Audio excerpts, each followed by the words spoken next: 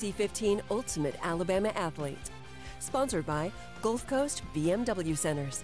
BMW, the ultimate driving machine. Today's ultimate athlete is Roman Harper. Harper is from Prattville. He was a defensive back who played his college ball at Alabama.